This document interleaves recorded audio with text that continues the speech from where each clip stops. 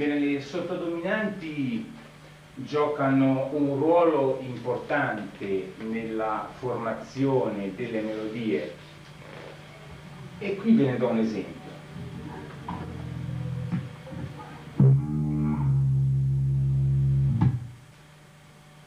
Ecco. Ora, non ci fossero le sottodominanti, noi avremmo potuto eseguire questo passaggio banale anche così. Ecco la differenza sottile ma evidente. Il feedback è importante, il feedback è importante e credo che abbia un valore, un valore inespugnabile.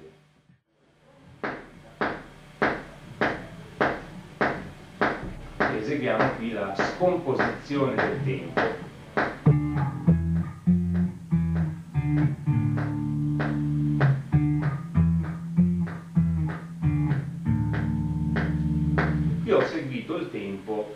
impari. Ora, abbiamo contato in 4, noi ora contiamo in 5 alternandoci con un 9 ogni 2.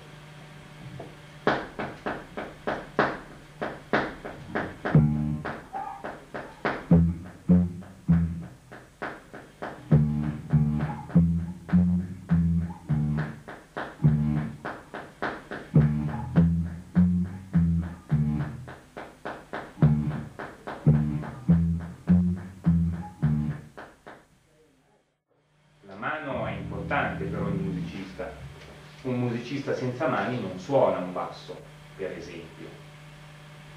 Questo ci porta a considerare di più la funzione della mano nell'uso dello strumento.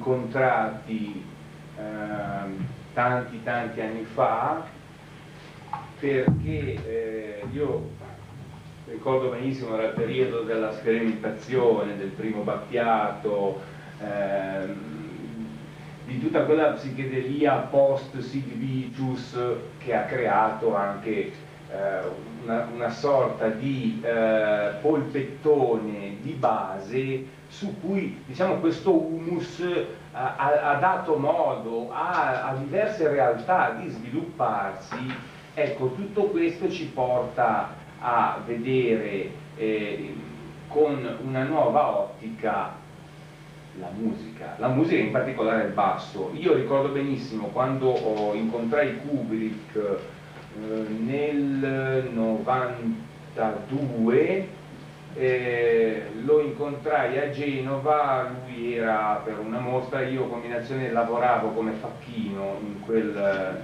in quell'albergo e sbagliando strada finì nel, nella parte privata eh, e gli diedi una gomitata praticamente, lui mi insultò, penso in inglese, eh, non, non capì una cosa tipo fuck your mother sucker, una cosa del genere e, mh, non sapendo l'inglese io dissi thank you perché ricordavo questo e da questo incontro con Kubrick la musica in me eh, è, diventata, è, diventa, è, è diventata parte, parte, di me, parte di me.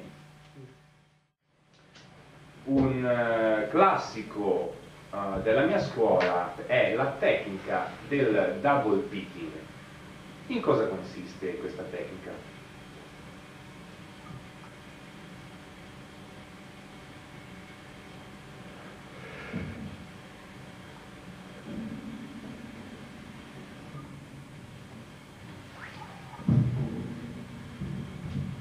single picking.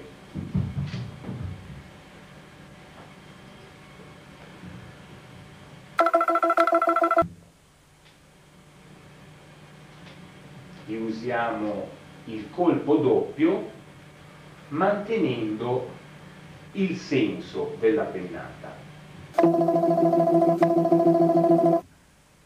Ora suddividiamo con il double picking. Questo porterà tutti voi a poter suonare tutto quello che suonavate normalmente in sedicesimi in 32esimi e quello che suonavate in 32esimi in 64esimi. Il glissato di polso molto semplice può essere noi applichiamo questa tecnica al fa diesis che come anche voi saprete è eh, una delle note eh, chiave mh, nello sviluppo delle sottodominanti, sentite? Certo. Questa comunque è letteratura, un'armonia classica. E eh, possiamo vedere su questo questa cosa. Tapping di polso io solitamente sul palco eh, mi nascondo quando lo faccio. Perché... Esattamente, esattamente. Eh, perché sono cose, è un po' come vendere il proprio figlio. Sviluppato su un Si, che come tutti sanno è la nota base per l'esecuzione di un tapping di polso, Mm -hmm.